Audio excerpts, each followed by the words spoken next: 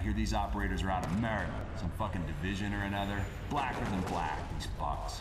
They got no rank, no fucking protocol, they're fucking barbarians. And they're in charge.